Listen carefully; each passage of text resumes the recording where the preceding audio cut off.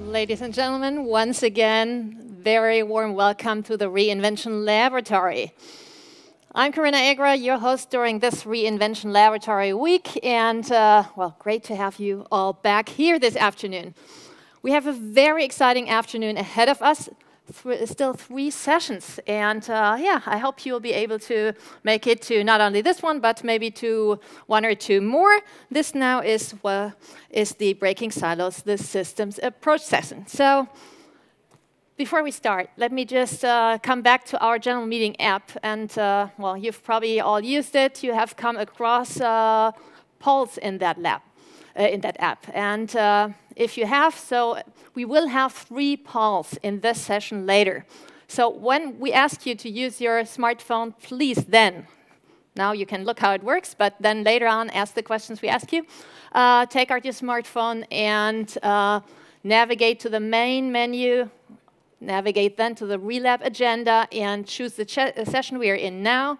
And then you have a horizontal menu, and you can, on that horizontal menu, select poll.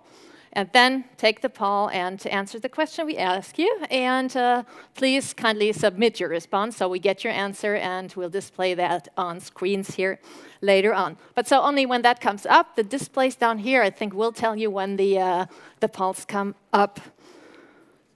Okay let's start the session. And let me introduce to you now the key people for this session. And it's uh, first, it's Manipai Vienkam, and I hope I pronounced that correctly.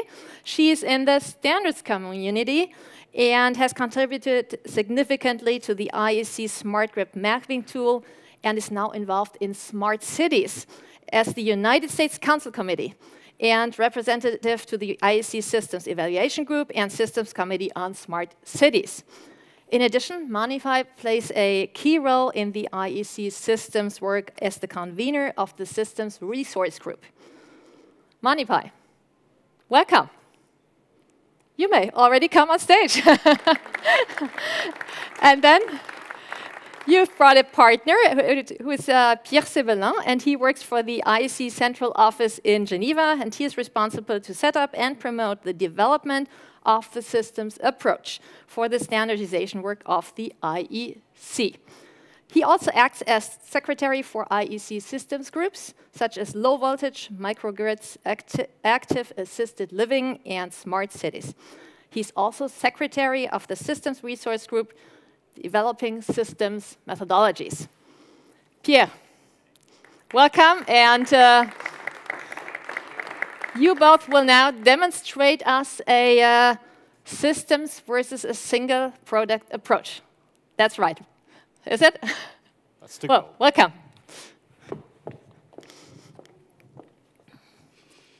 Hmm. Oh, nice. What is that? Some pieces here. Let's see. Okay. So Manipai. What are you working on Hey, here? Pierre, how are you? Excellent. Hi. Excellent. Well, I, you know, I've been in meetings like just all day today. I mean, Right. TC after TC, and so I just needed like a brain break. And so I thought, you know what, I'm gonna work on some puzzles. And I found this here. It's a. It looks like a picture of a. a White House or something, but there's a thousand pieces in here. Yeah. You know what? What? I am the king of puzzles. King of puzzles? Okay, Right. wait a second. I heard that you were a master black belt, but now you're telling me you're the master of puzzles? Yeah, thousands of pieces. No problem for me. Oh, I don't know about that. Okay, show me. Well, it's not so complicated, you know. First of all, I just go here, put my hands here on the on the pieces. Uh huh. Then I just go for some meditation, and then Oh. I just know where each part is going. Oh, okay. Interesting. Well, you know, I don't have that power. Sorry. Um, but let me show you how I kind of do this. You know, um, so I've been doing a lot of puzzles, and I usually, you know, I don't have, like you said, all these powers, but I, what I like to do is I take all the pieces out and I lay them out, and then the first thing I do is I look for the four corners because I know, you know, the puzzle is four pieces, so I need four corners, right? So I got the four corners, I'll find that, Right. and I'll put them on the side. Mm-hmm. And then the next thing is, okay, I need I need all the edges. I need all the edges. So that's really easy because, you know, that's very obvious because, you know, the edge, you know, you can see where there's a flat part. And so you know, you know, what I do is I'll take all those and put that on, on one side. And then it looks like this picture is, you know, there's a lot of blue in here, some purple, you know, the trees. So I look for, you know, I'm going to think I'm going to start with some of the purple flowers and separate those because those you can tell, you know, there's some purple and green in there. So I'll put that to the side and then the blue on the side. And then once I have that all together, then I put my four corners, you know, because I can tell, okay, there's a dark blue, light blue, so on, so on. So I'll put that up, you know. And then I can start working on my edges. Say. And then from there, then I'll focus on an area and start building on that. Mm, okay. That's well, how I do it. that seems very logical, really.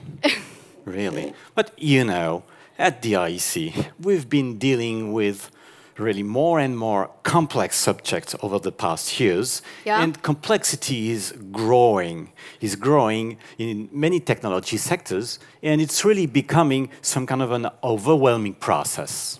Yes. You know, that's really interesting because you, you think about, and I saw this on a slide, I don't remember whose slide it was, but the evolution of the phone, right? You think. Yeah, about the evolution of the phone, of where we were 20 years ago, Mm-hmm. And now we where we are now, right? And, you know, before it was just copper wire to copper wire, now it's completely different, right? Right. Yes. And now, now more and more products communicate around us, but also in the industry. And so, not only smartphone. Yep, that's true. That's true. You know what? Um, so there are a lot of. It, it's interesting because the phone is connected to too many, so many different pieces. There's the people aspect, um, software aspect, all that. You know, I was thinking about is we're in IEC here. Um, even just the, the phone itself, I heard there's actually a lot of technical committees that are addressing just the smartphone. And now we have committees like Smart City, Smart Grid, Smart Energy. I mean, that, phew, Yeah, you, know, you have this- this huge system. So how do we how do we tackle that? Yeah, well, these subjects are really highly transversal. And so, in fact, the traditional bilateral liaison concept we had at the IEC and we still have is operating, but is really reaching its limits when we have so many stakeholders that needs to come together. And this is why the IEC came up with a concept of the systems committees in I order see. to offer a collaboration platform to bring together all these stakeholders and this I see. increasing number of stakeholders. So breaking silos and really Yes, connecting. TCs, connecting TCs, just like the theme, right? Mm-hmm. Awesome, that's fabulous. So tell me a little. Okay, so I'm, I'm having a hard time here. Help me understand what's the difference between a systems committee and a technical committee. Right. So, well, a systems committee is really there to bring together all the technical committees that are concerned about the transversal subject, even also to bring the external stakeholders. And they can share their roadmap, they can share their program of work, and the goal is really to ensure that, in fact, they don't have, I would say, they have a coherent and a coordinated standardization program. Hmm. So, so is it that the systems committee directs the technical committees? How does that work? Right? No, no. Are they telling them what to do or, or what? No, the technical committees, they're really fully responsible to manage their own standardization, the one which is inside their scope. Okay. So uh, think about, let's say, think about the air control system. Okay. So the air traffic control system, Uh-huh. you've got a lot of planes in the air, and these planes, they share together via the air control system their position, but also their direction. And so, via that collaboration platform, each pilot in each plane Mm-hmm. knows where the other planes are and knows also where the other planes go. Yeah. Okay. And so this is really the value the collaboration platform offers. Yeah. But at the end of it, in each plane, the pilot is fully responsible for what he's doing and where he's going with his aircraft. Okay. But the air control system ensures there's no collision and also ensures the mm. fastest flow of aircrafts inside the air. So there is an optimization as well of the whole process of the air, air traffic. Yeah. And in fact, this is the kind of value that we really want to bring with the systems approach. And really, the systems approach intends to uh, share all this information between the technical committees that they can really much better work together. Hmm. And of course, also, a systems committee can develop some standards when all these TCs they realize that there is some there, there are some subjects that are really transversal that I they see. need to be together then the platform then can work together to Yeah. develop standards that are transversal that we could call systems level standard I see. I see. That's that's a really good analogy. So the systems committee is working with all of the technical committees, right? And so they're really having helping kind of provide that end-to-end holistic view, right? Right. So okay, really seriously. So how does this really work in practice? You know, So let's have a short talk with somebody who has already practiced that. Really? We've got with us Rolf Apel. So Oh. Rolf here he is in fact convener of the work of a working group into the uh, systems committee smart energy. Okay, so Nice. right. So in fact, la- just uh, Rolf, please uh, let's talk also. Uh, let's explain us a little what you do into that systems committee and how you ended up also to use the systems approach. Well, I think in principle we are started a little bit to say uh, with uh, thinking in a system already years ago in the weren't, strategic weren't you guys uh, like the strategic group first? the strategic group okay, uh, I first, so that does Yeah. uh, we have let's say some history. Even we are not uh, called a system committee, but we started and see okay with this hype of smart grid, there was a lot of uh, initiative in standardization, and there was a need to coordinate this, and that was why. Let's say uh, the strategic group was born, and I think the biggest challenge was like your puzzle challenge Yeah. to get all these bits and pieces of standardization and to form it into a, a picture which easily be understandable and where you could see, okay, where are the gaps, where is the overlapping, and this was more or less done by the mapping Yeah. tool you have developed. many Yeah. cases. Okay. So what what were some of the challenges then? Do you do you remember any of the challenges that you had to face?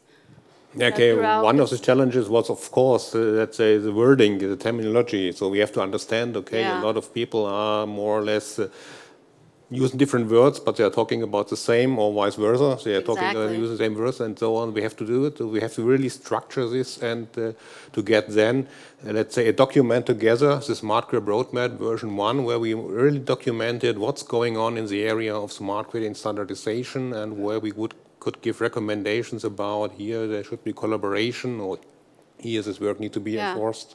So Well- it, it just took some time to get this document ready. Okay, cool. Do you, were there any gaps? You know, just gaps that because you were the first, you were the pioneer systems evalu- I mean systems group, right? So you were the first. So what were what were some of the needs or, or gaps or ch- that that you Well, I had, that you think did- uh, that actually we have? had more problems with overlappings than with gaps. really Uh, okay Because I think everybody was seeing, okay, and started more or less to develop the smart grid from its, let's say, small box where he was working on. So this causes, and so we had more to structure the work instead of finding really gaps where standardization is currently missing. Okay, and then do you think you got some specific, I would say, success you could achieve by using this uh, uh, approach with the standards, the systems approach? Yeah, okay. With the system approach, we also started to develop the use case approach.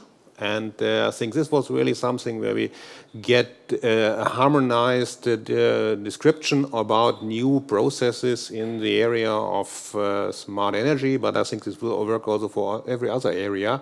And then you get more or less a common understanding what's going on, and this gives then you the base to talk with the experts from the different TCs, and they can understand and then they can coordinate their work. And I think this nice. is uh, what we are doing today in uh, the so-called forums, where we are talking with the, the, different TC experts, and we bring them to this common understanding about the problem. And then, if you have understood the problem, the solution is normally very easy. Okay, they're very definitely good. they're definitely using yeah. some form of the systems approach. Yeah. Would you agree? Very good. Yes, definitely. Wow. Thank you very much. Awesome. Rolf. Fantastic. You know, that's really interesting. They really, you know, sis a smart energy right. has to definitely, you know, see, um, have a holistic view of everything, right? Yeah. It's, it's, a pretty big system as well, I would say. You know, I think that's why the SMB, the stand, um, Standards, Standardization Management Board, um, establish the systems resource group. So I, you know, to my understanding, yeah. the SRG's purpose is to provide really best practices, a systems approach, um, and tools and support services for a lot of these systems committees and systems evaluations groups that's coming together mm. to help them to help them get started, right? Um, okay, but you know, we've been talking about systems approach. Yeah. But can you please explain a little more in details what you mean by a systems approach? Yes, yes. You know, um, just as Rolf mentioned, you know, with the puzzle, right? Hmm. You know, when you have three pieces of puzzles, three pieces, it's easy to connect. You can look at it, it's like, okay. But when you start getting to a complex, you know, with more pieces in the puzzle, you, you really have to have a strategy, right? And and um, so this systems approach is really is really much that, right? So you these co committees really need some type of strategy, and and sometimes it can get overwhelming. You know, when you think about smart cities, right? It's just huge. Where do you even start? Sometimes the committees feel like, oh my goodness, I feel like I had to boil the entire ocean right? And so that's where the where I'm, I understand the SRG comes in, and you know, you know, we hear a lot about use cases and oh, you know, use case and, and really it's like use case analysis. But honestly, you know, it's a a part of the entire process. Right. So typically, you know, you go through um, understanding what's the market, you know, what, what's, the, what's the driving factor for smart cities? What's the driving factor for um, smart manufacturing home, or manufacturer smart manufacturing, right? And um, and some things that you hear is, you know, they like for example, in Smart City, they want a sustainable city. They want a um, a city that is economical, right? And so, well, what does sustainable city mean? right? And so you go through these process. You take the what the industry needs are, and you break them down. And typically, that's like a, you know, you do a um, stakeholder analysis, right? That's a step that you got to go through, and sometimes people forget to do that because there are many, many stakeholders in a city. You got city management, you got what?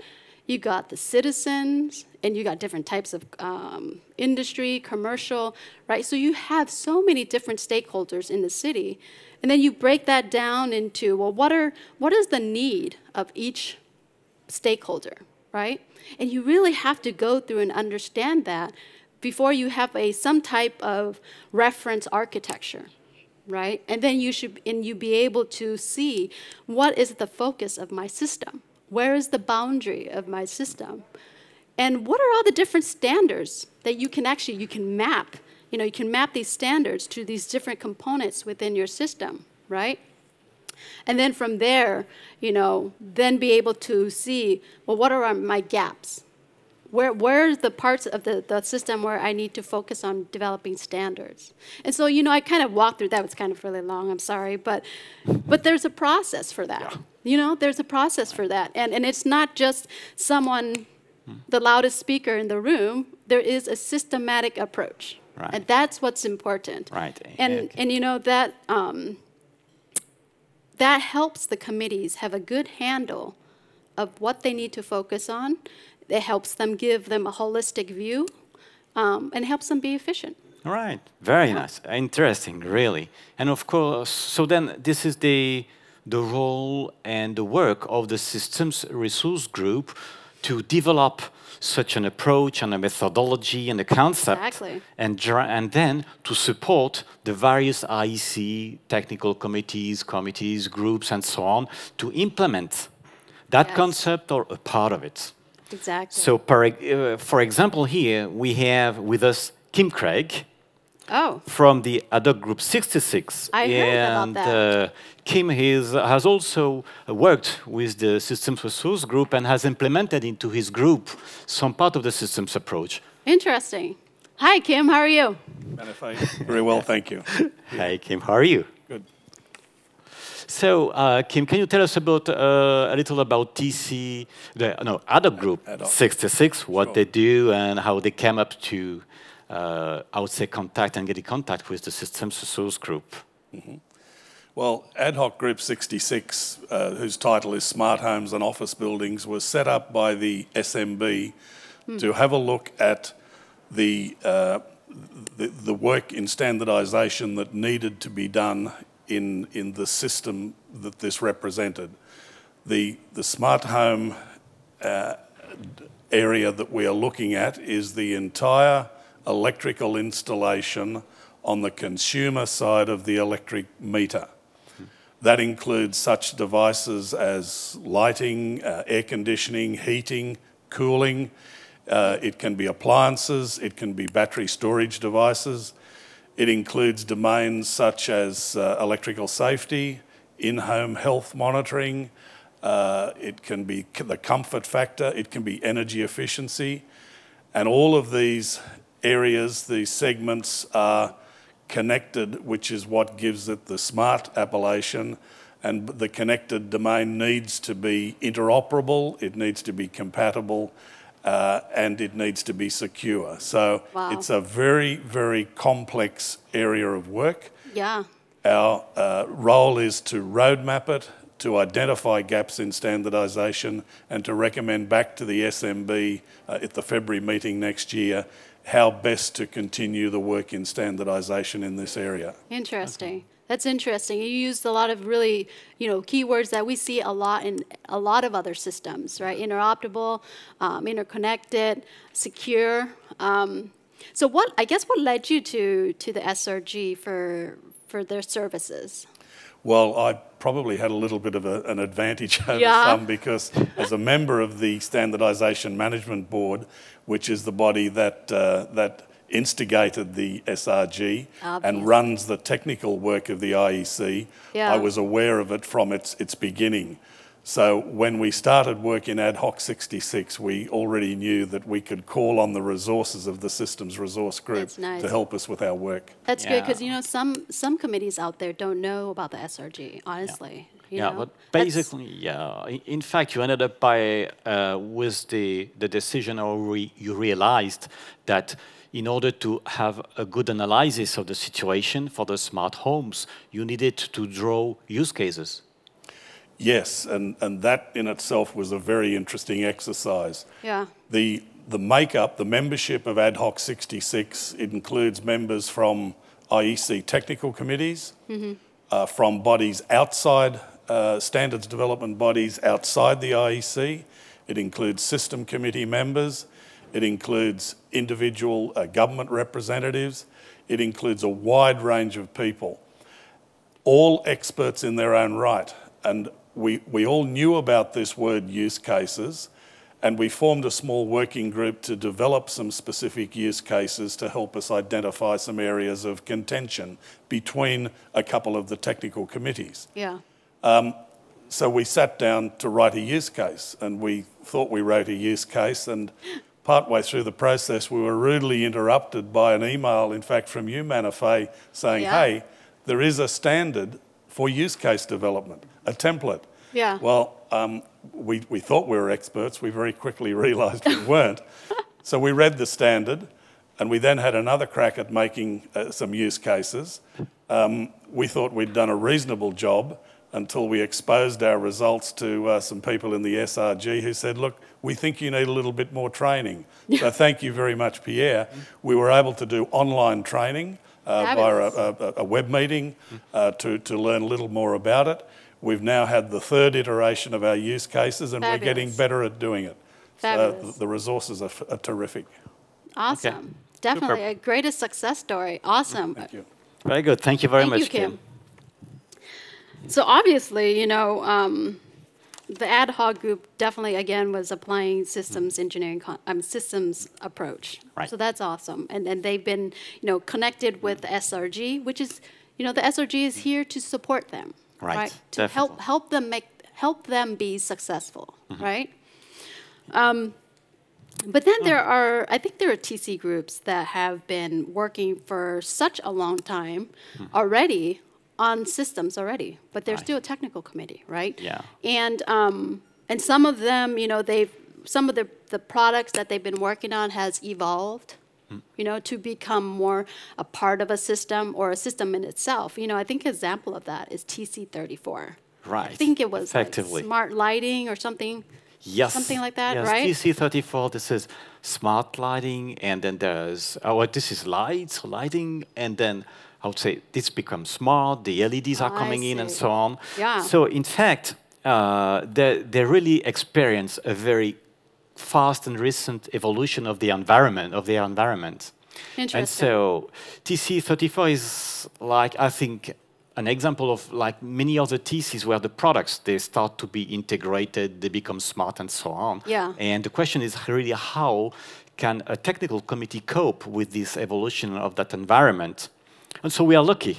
Yeah? Because with us today we also have Heike. Awesome. So Heike Friedrich, he is one of the most active members in TC34. Is that so? So he's going to first, maybe you can just give you some insight about TC34, the recent evolutions that you've experienced there. I can, uh, but first of all, I must say maybe I'm not the most active because I've sneaked out of the TC34 meeting to be here, Yeah. actually. so they're all discussing stuff, and I'm not taking part right now. No Um, worries. But I think um, I think I kind of represent a classical technical committee, so it's TC34, which is lighting equipment. And I think in the past we could very well do our little cap and holders and stuff and everything within the TC34. Yeah. I think um, even the LED technology change, which kind of means that you have much more abilities to yeah, set illumination schemes, uh, to vary a lot of parameters in the end, that kind of um, would result in a, in a lighting system itself, is something we can handle within TC34 very well. But actually, nobody wants to have such an isolated system where we can say, well, we can give you everything to control the light. People then say, ah, I want to control it with a smartphone. Uh, well, we already have some building technology management systems, or we're working on. Uh, as a utility company, we already have our um, control systems, and um, then the question is how to integrate that. Yeah. So, and at that point, uh, we really have to reach out. And the first challenge here is actually even with with with the, the, the, the kind of formal standardization organizations we have. So it's great if within um, IEC all of the technical communities uh, are kind of be able to be connected, but also the reach out because the first thing you do for interconnection or kind of uh, attaching such a Luminaire something to a smart whatever system Yeah. is well make it with, with a wireless device. Exactly. So that's like the, the first thing you can do. It's really um, really simple. You don't have to do any wiring, etc. And you're already in the realm of telecommunication, wireless telecommunication. So you kind of end up with ITU standards at some point. Yeah. And uh, also, if you kind of look at the whole environment, so on the application level, you go away from IEC, you're somehow in the ISO world already. And that's like one challenge that you kind of have to step out, out of IEC. And on top of that, I mean, outside uh, the world, a lot of things just evolve really quickly because, um, well, these protocols, all of that, that are made by Zigbee, Google, um, well, this Apple, um, they, they all kind of um, uh, address the same issue. So they want to have a smart home and kind of be, be the first ones to move. And maybe that's shown on the next slide.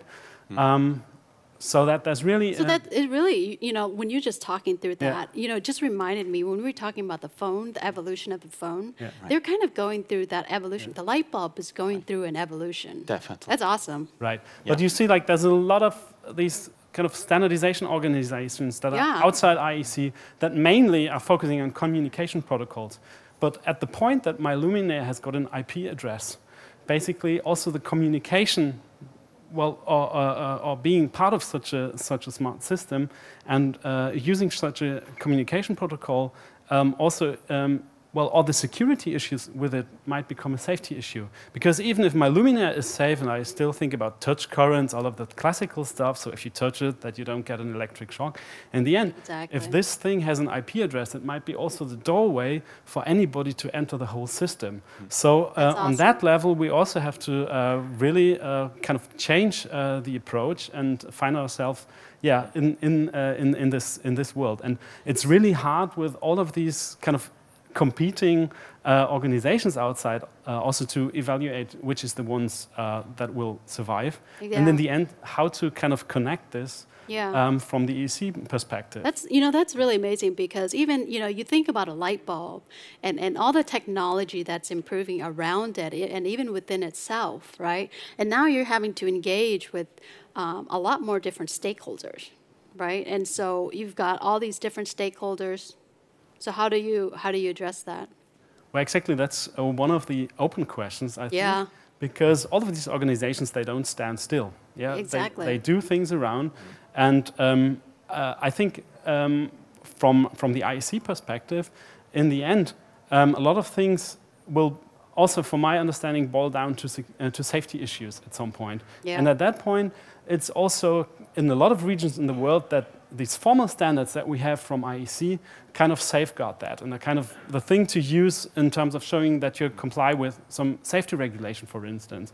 And at that point, you must somehow step out again of these kind of market standardization organizations and prepare something on a, on a formal level like on Nice. IEC. And I think for us, that's still one of the open questions, how this will happen, but I'm sure it has to happen. And I think IEC also is prepared, um, well, for this. And it's also kind of already has an established way of working, which um, could also help to, well, transfer of the stuff of um, such organizations that kind of at some point have find uh, or define themselves again and kind of establish this. Okay. Yeah. Thank Very you. Good. Very good. Thank you. Awesome for your time. We're really looking forward to having the TC engage with the SRG. Right. Thank you very much, Heidi. Awesome. Um, obviously, wow. You know, there's so many examples of this. There's there's a lot of systems activities going on everywhere. It seems. Right. You know, there's people working on um, at various TCs and different levels of systems. It's just it, honestly, it's really amazing. Yeah, definitely. This is a, a clear trend, a clear trend of It is. convergence of all these technologies and all these product technical committees.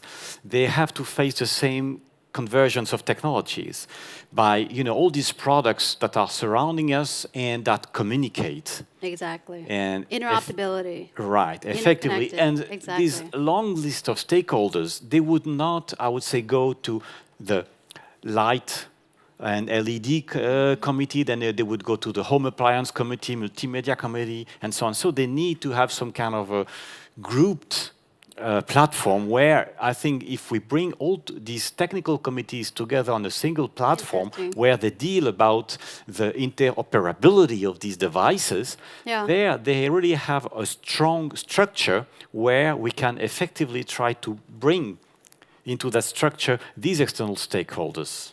But I think that these external stakeholders, they will not spread their resources into so many technical committees. And so we have to try to really make these collaboration platforms together Yeah. and have this TC working together and be much stronger to then collaborate with all these external stakeholders. Awesome. Yeah, that's that's just as amazing. You know, IEC is going through this big change. You know, we're, we're transitioning from you know component thinking to systems thinking, Right. and that that is a culture change. And that's fantastic. You know what I'd like to do?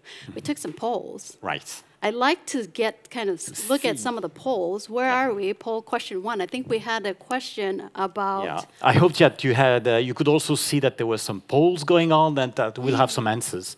Oh There yeah, go. good. Look at Superb. that. Superb. So who's Excellent. already using system concepts and standardization work? Look at that. Yes, I do. 67% out of the 12 votes. Excellent. 33% who haven't.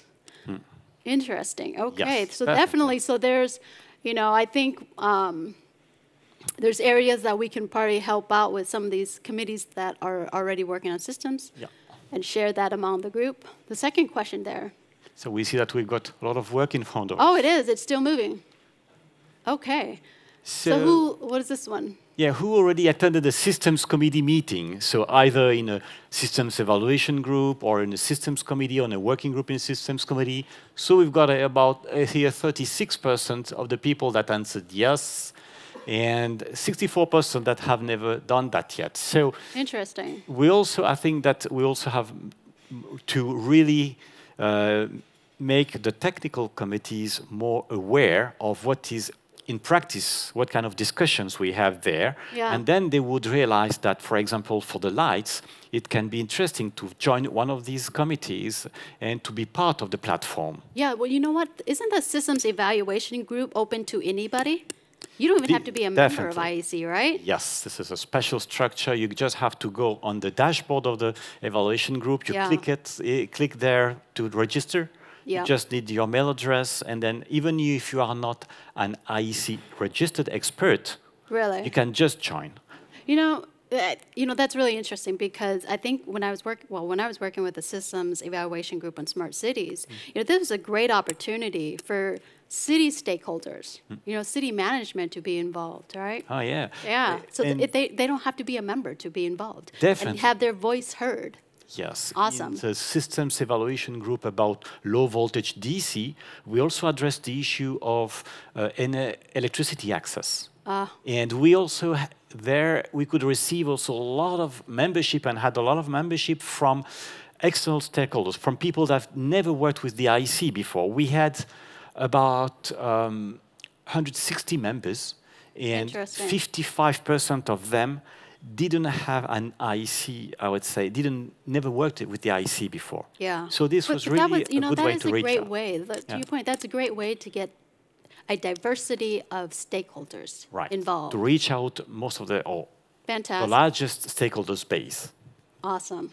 The third question here. Um, so this one was more probing. I said, which which of the following do you believe is the biggest need within IEC systems work? Um, first one was building an understanding between systems committees and technical committees, which we were discussing earlier. They're saying about 20% would like to, to know more about that.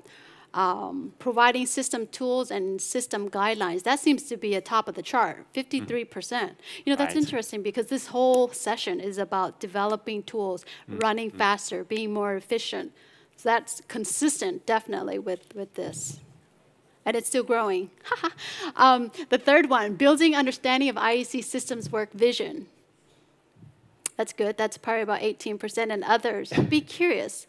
So what is that? What is the others? I wonder. eh, maybe it's time to uh, see if we have some questions in the audience then. Uh, Yes, we'll turn our directions to our friends in the audience if there are any questions about IEC systems work or SRG. I'll open the floor to anyone. Oh, we've been so good. Yeah. No, I can't believe it. All right, good. Okay, somebody has to start. Thank you for starting and asking the Obvious. first question. Ob- Actually, a a couple of questions. First of all, how, how you go how do you go about drawing a uh, boundary in the systems you choose? Do you have any tools or methods? How, how do you make those decisions? That's the first question. The second question is, we've been hearing all about speed, the need to uh, speed up the process of standards deliver, uh, creation, delivery, and so forth. So um, I'm a big fan of systems uh, of a systems approach. But how do we deal with the tensions between speed and creating new uh, systems committees and, uh, and all the rest of it. So how, how do we balance out those two things?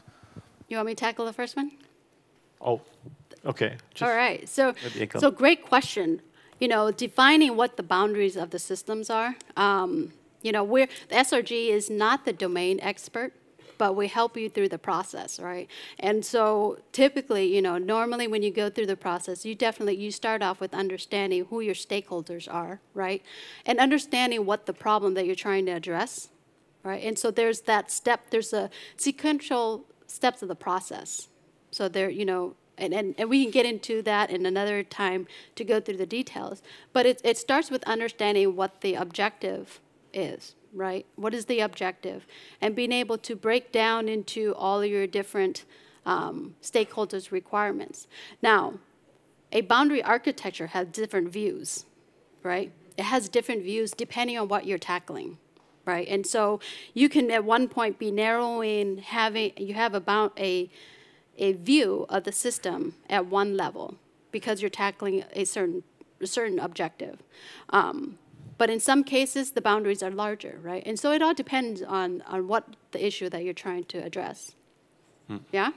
Yeah, okay. And regarding the issue about speed, in fact, first of all, uh, there is a real need for speed because usually in this kind of approach, the systems level standards are even needed before the product level standard. When you talk about interoperability, you need first to design the communication standards, and then once you have designed the communication standards that will allow all the products to communicate, then in each product uh, committee you can then further develop, I would say, the integration of the products into the whole system. So there is a real need also of speed, not only because uh, we need to be fast, but also because we need to maybe quite, I would say often, start to work on standardization at the systems level before, I would say, going further with the standardization at the product level.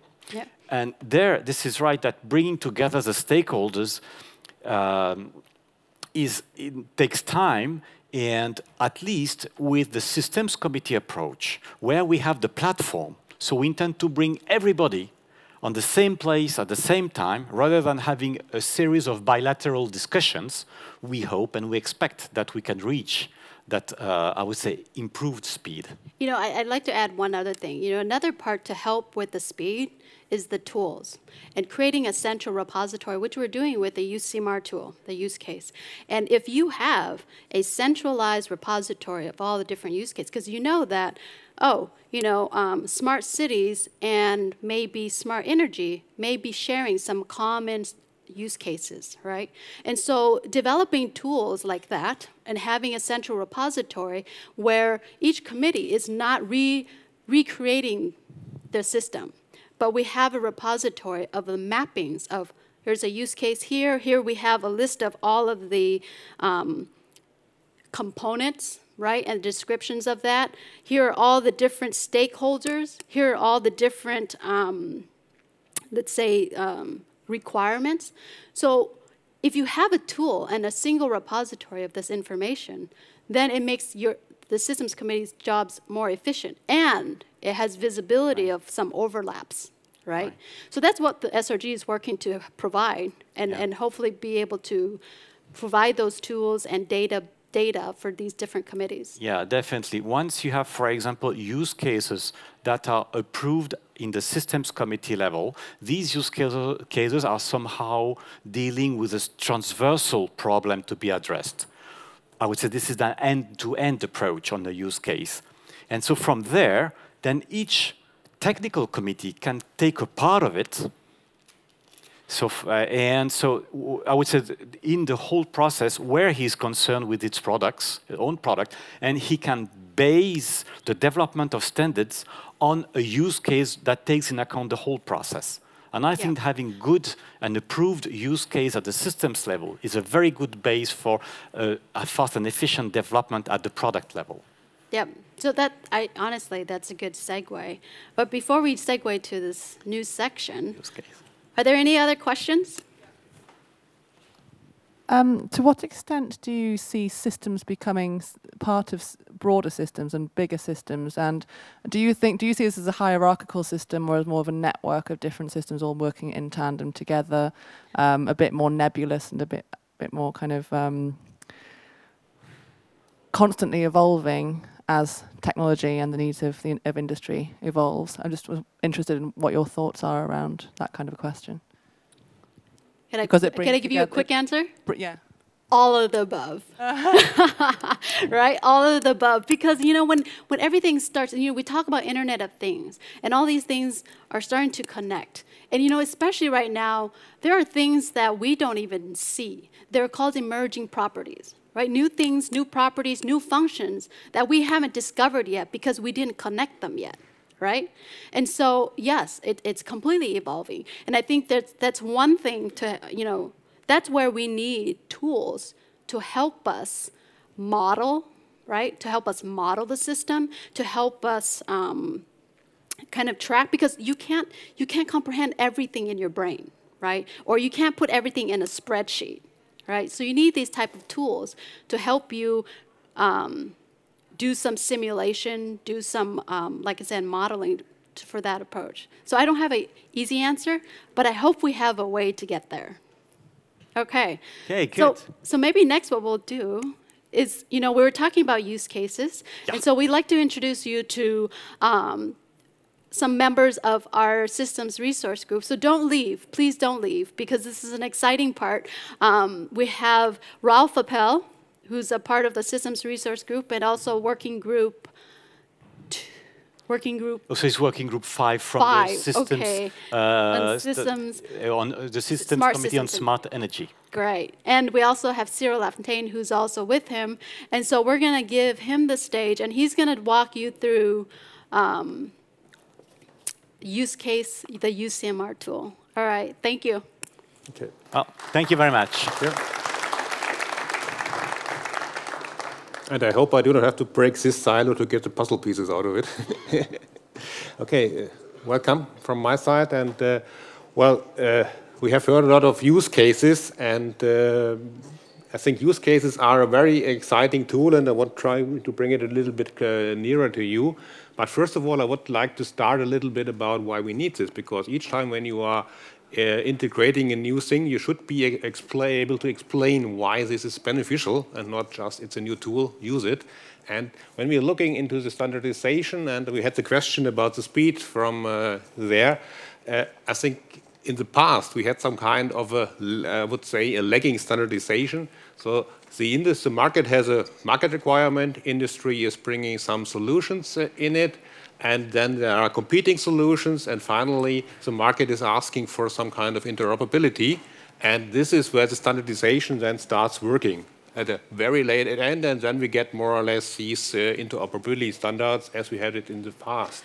And if we want to change this in a way, then we have to start in a standardization in advance. So we have to say, okay, we have to understand what the market is needing, and then we can start with the standardization, providing the standards to the industry, and the industry can then directly start to develop uh, interoperable solutions. But if we want to do this, we need to think about, about what is the business case, because there is a lot of technical solutions available, but what is accepted by the market? So we need, as a standardization organization like IEC, we need also to have an understanding about the market and to, show you how use case can help you to structure this analysis of the market or the market requirements. I would like uh, to present you a small uh, video, which hopefully, oh, we have some questions more.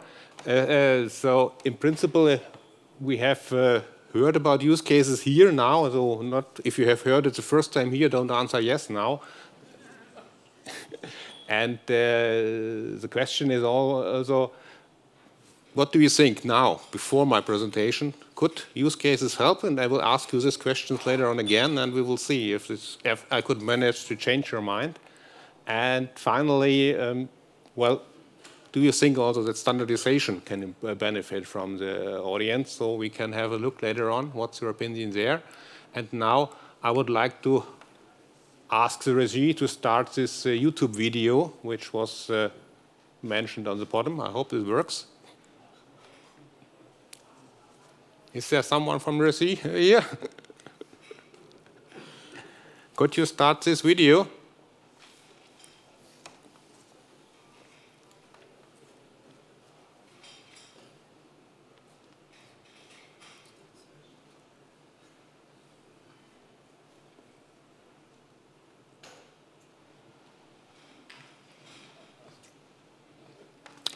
Well,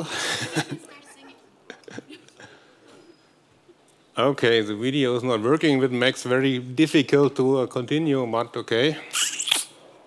So, well, what you have would have seen in this video, but maybe we could start then with the Next slide. Sorry for that. You can skip this. So in principle, this was a small video from Mr. Bean coming into a shop and he was looking for a new television. And of course, as you know, Mr. Bean, he would want to have the biggest one and the most expensive one. And um, well, actually, he has not the money with him. And so, of course, he could not buy this. And in principle, this problem, how could it solved? Okay, today it's solved already. But imagine this problem a couple of years ago when this movie with Mr. Bean was mentioned. So he has a problem. He has no cash for money. On the other hand, maybe not Mr. Bean, but someone else, he has money on his bank account, and he try now to uh, get this money, but there is no office of this uh, uh, bank nearby. So what can he do? So in principle, the bank, on the other hand, he wants to keep the, uh, customer because if I'm not satisfied with my bank, there's a risk that the customer is changing the bank. And so in the middle, there is a new business idea, which is already solved, but a cash delivery service provider. This is a very generic uh, business case where you can say, okay, if I could more or less offer a service that someone gets money from his uh, bank account, even there is no bank office uh, nearby, then this could be very uh, a great solution. And in principle, with the use case, you can document this business case in the right way. So you have three persons here involved. You have the customer who has a need to get cash. You have the bank, where you have more or less the bank on your account, and you have the person in between who has more or less to manage that the bank is uh, that the money is coming to the bank. So, but in principle, how you do it? Because uh, the one in the middle has to know that this is really the customer, the right one, and that he has really money on uh, his account. So in principle, you need some kind of mechanism that the customer can identify himself as this uh, cash delivery provider. And on the other hand, you need also some means that uh, the bank can give the information, okay, this amount of money is granted or not. And in principle, this could be done in a technical way, which, sorry for that, could also not present it as a video. So we skip this. The ATM, the uh, cash machine, is the solution for this. And in the cash machine, okay, what you are doing? You identifying yourself by means of the, entering the card. Then you can more or less, uh, this uh, cash machine is asking the bank, is the information on the card correct? Is the PIN correct? And so on.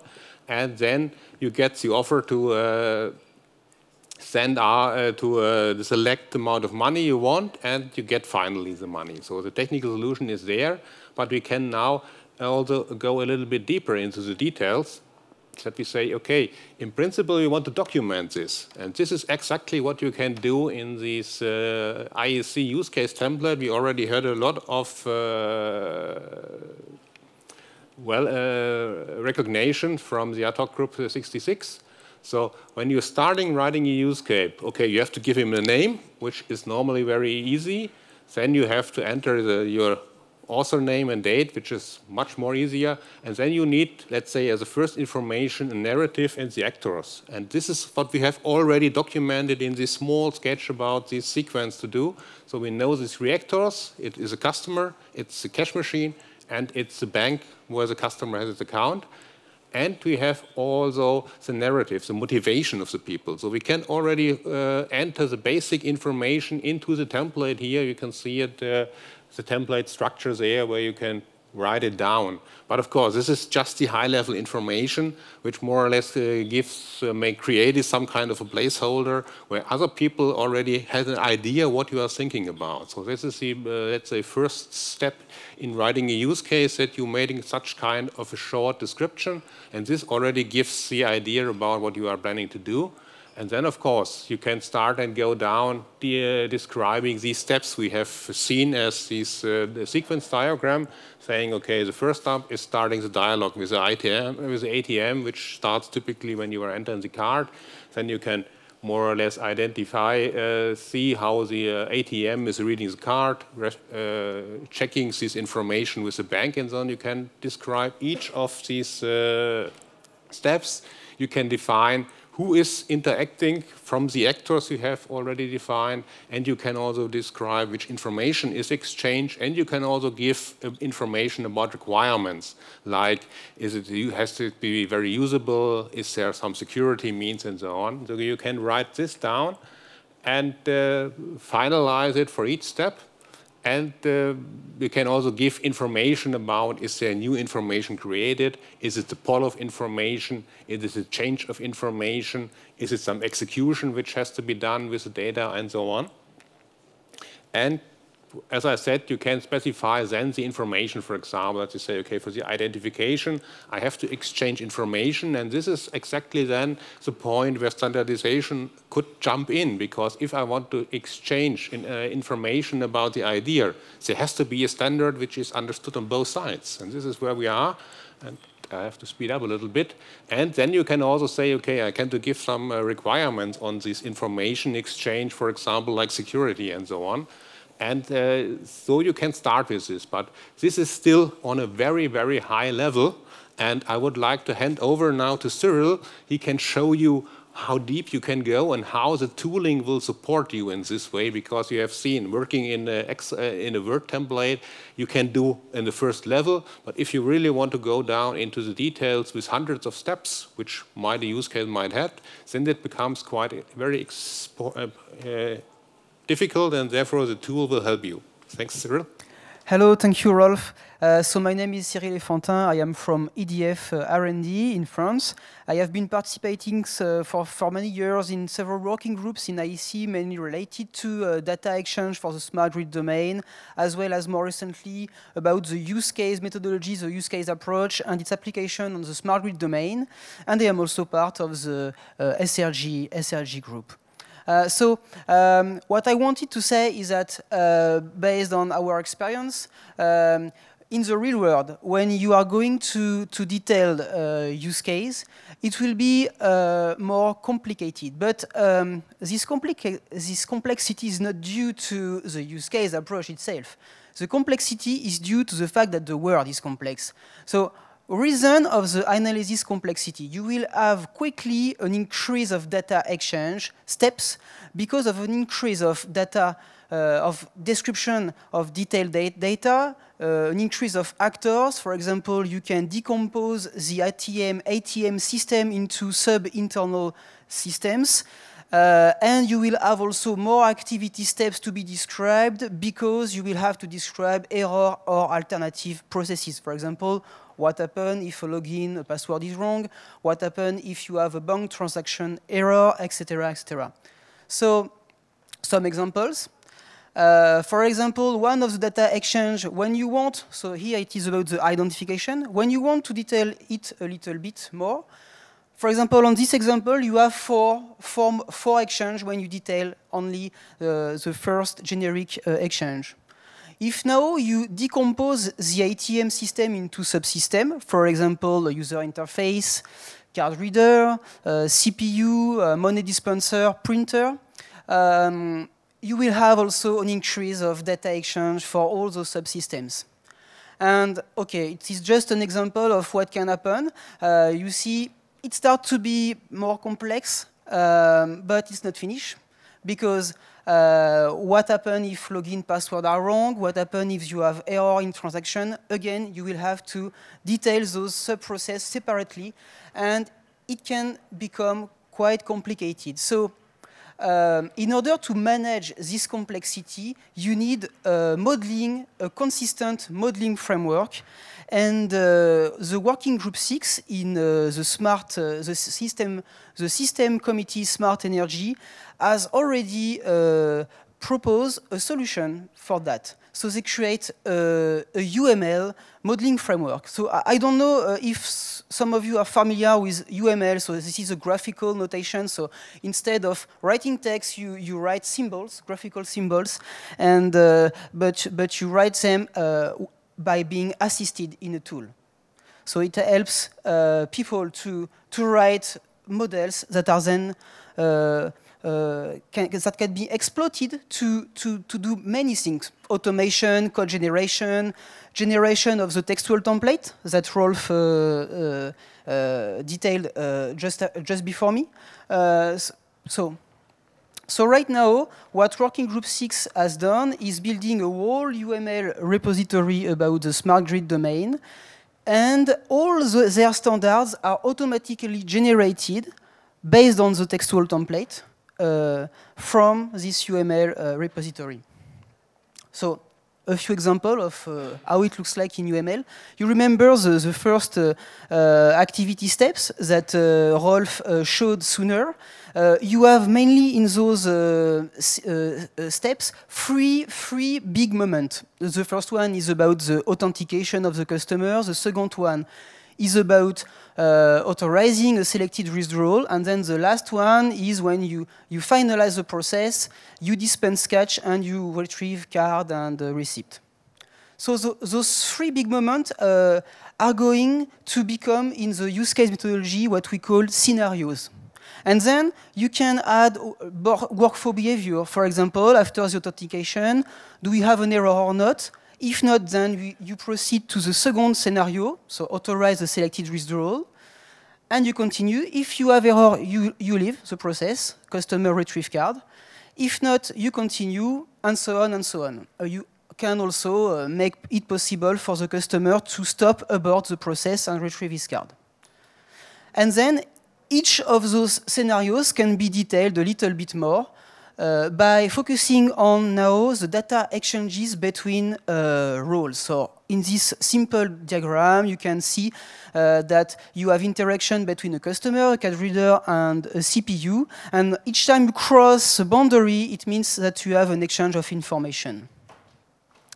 And uh, then just before that, sorry, uh, let, you, let me do uh, small demos. So can we switch to my, uh, to my laptop, please? I hope it will work. Okay, uh, thank you very much.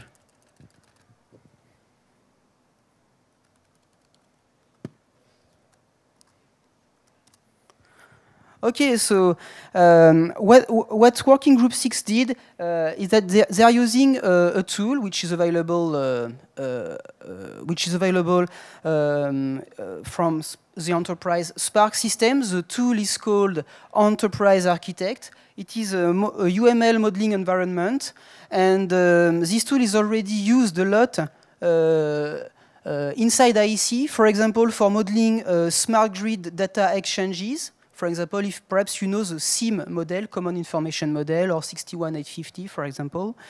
Uh, so this tool is used for those kind of standards. And now uh, Working Group 6 is also using uh, this tool to create all their UML use cases.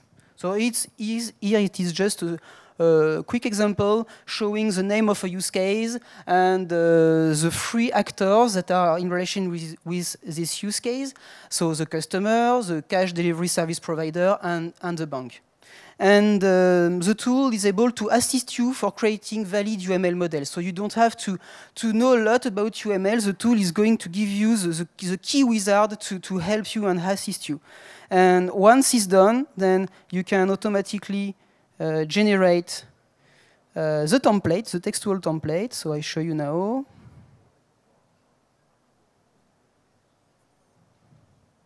So I click on export.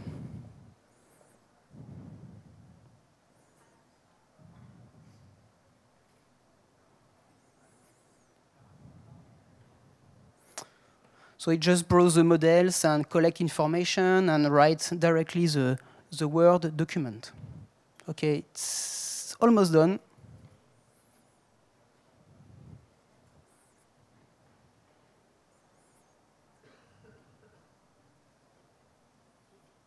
Okay, I think I think it's done.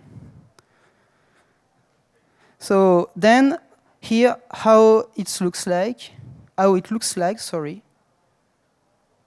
Ah, try to, okay.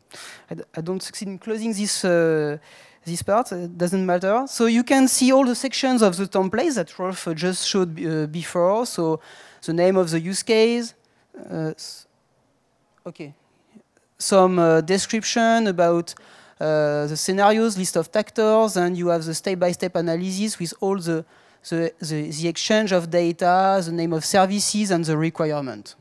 So you don't have to fill these things manually. You just, you just um, rely on, on, on the, the UML abilities. And then we come back to the presentation. I think there is a poll. Rolf, perhaps you can. the end. So I think, but uh, as we do not, I'm not sure if we get the results. So maybe now we can open the discussion and, uh, well, let's come back to the question I had in the front. So what do you think? Is this, methodology we have shown and let's say the tool supporting it, is this really something which could uh, help you in the standardization? So who has an answer, a statement to this?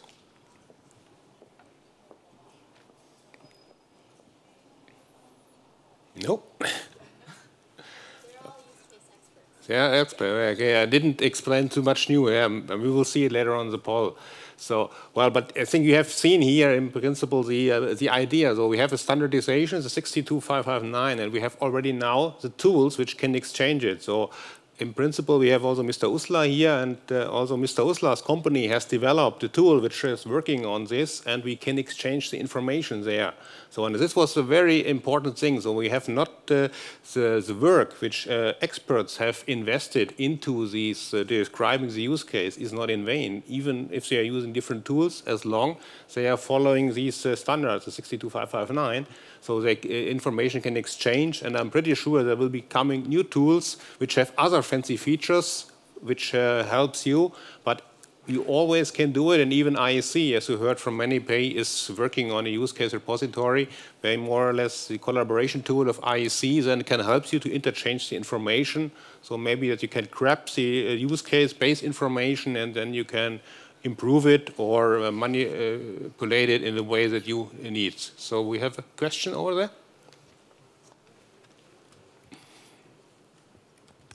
Thank you. It's Roland Hussein from Toronto. Um, when you look at the last boxes, um, if you have to differentiate, uh, would you tend to, to rank the last boxes so you can have a computed final number in some of this if you're trying to get an answer out of it? Uh, or is it all descriptors at the back end of it? I didn't I believe I get your point, or exactly what maybe. So, what is the output? The output, uh, uh what you have in principle is, is a structure to store the information about the use case. You can have it as an output, like we have seen it here, as Word document, this is good if you want to read it, you want to understand it. A Word document is the best way.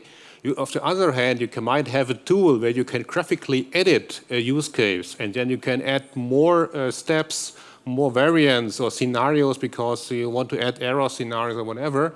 So it depends what you are looking. And if you are working on this tool, for example, and you are finalizing, you can bring it back into this repository and then again, another one might take this document, the information, and read it again as a Word document to see and to review it.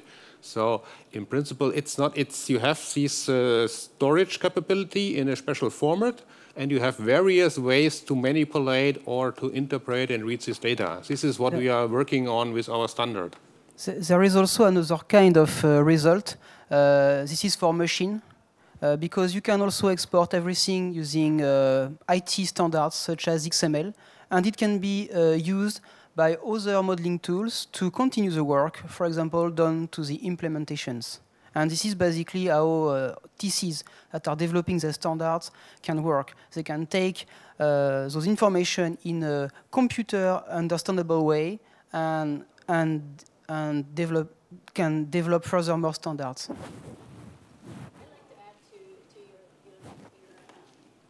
Question there.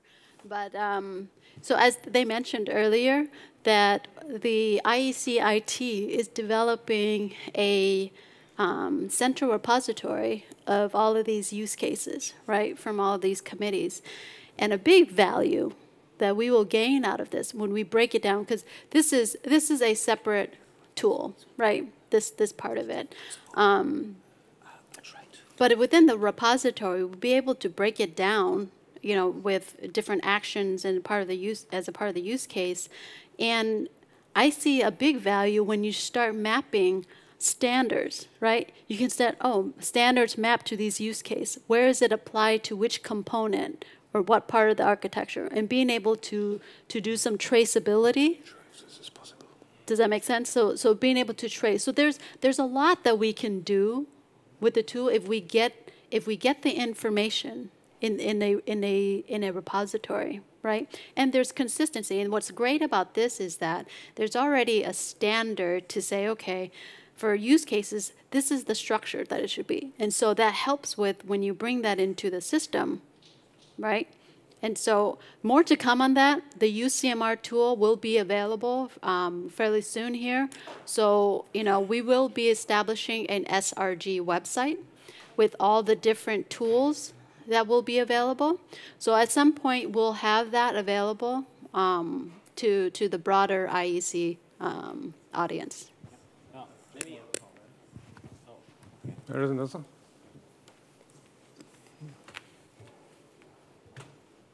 So, so, so maybe this comment is, is five years too late, but um, uh, when you look at nomenclature Mm. And translatability of words, um, when you started the presentation, you had three words, system, use, and case. Uh, if you put that out there alone, you don't know what it means. Mm-hmm. Uh, if you, if you, if you tran translate into Arabic or Chinese or even French, um, and you try to translate system, Yeah. what would it tell you is inside of the documents or the process? If you try to translate the word use, you know, what does it tell you? And case, what does it tell you? So I'm seeing it for the first time. So for me, uh, the nomenclature is very, very large and generic. And um, for new users of the system, Mhm. I'm not too sure if they look at the title and grab it and say, that's what I want. That's a good So point. it's a nomenclature thing, and it's 5 years too late. Well, it's maybe late. that You are right. Uh, It's not too late, I would say. And you're absolutely right. Nomenclature, terminology, there are a lot of words on, on this, but this is actually a focus where we are. And I think with these actors, uh, this is already something where you can start to harmonize or to limit the nomenclature, saying, okay, in principle, I can say customer, I can say uh, user, I can say a lot of things. But if you more or less follow this process, then you have to agree and say, okay, for this purpose, I call this actor customer. And you have, to, of course, you have to give a description. What does it mean? And maybe you have also to translate it into different languages. Absolutely, and this is what we are also have as a requirement for the uh, IT guys in IEC, and they're not happy about it because there's a lot of work to do. But in principle, you're absolutely right, and I think we have uh, realized this challenge. Hopefully, we get a solution there, and hopefully, it's not too late, as you mentioned. Thank you. Yeah, maybe I'd just like to, I would like just to make Uh, one comment.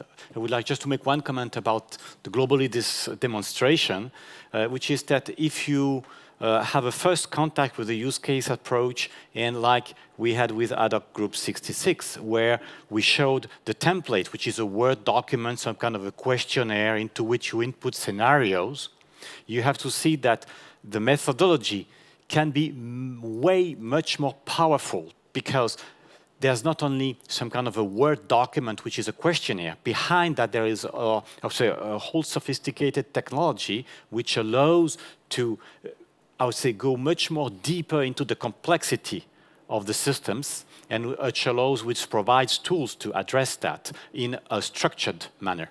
And I think this is really what needs to be taken out of such a demonstration, which is really, really impressive. Thank you. Thank you. One more question. Very briefly, and I'm probably jumping ahead here. Once we have a complex system dis- defined by a system use case, I imagine your next step would be the physical implementation of that system, and I would imagine that ought to be pretty mechanical once the system use case has been well set up. And I have a subsidiary question depending on your comment on that.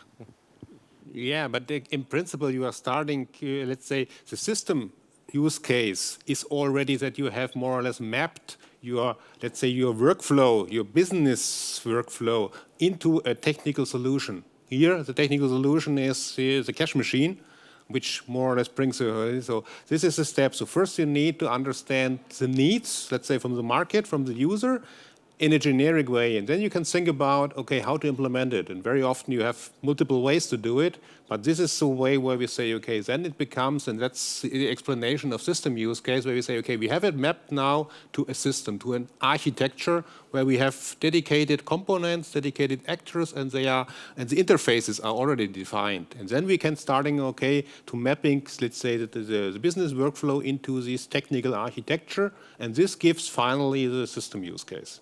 And then, of course, you can break it down and say, okay, this part can be done here, solved here in this TC, or this part can be solved here this TC. So we have the end-to-end -end picture with the use case. I would like to add a small comment on, on that.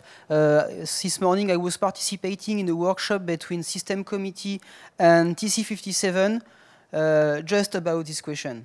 How to build a process to go from the use case to the implementation that are developed by technical committees. So that's, that's something that is being uh, that, that is going to be more uh, detailed uh, in, in, in the near future. Okay. Okay. Yeah. uh, we can have it later on at the coffee break if you like. okay. Yes. Okay. Any more questions? that's all. We'll see the time. just a small ad addition is a, uh, so you have time to think your about your question. Uh, the tool I, I, showed is not uh, is not uh, directly Enterprise Architect. Is the tool Enterprise Architect on which we plugged a free add-in uh, that is available. You just have to send an email to uh, the name of the tool, which is modsarus at edf.fr.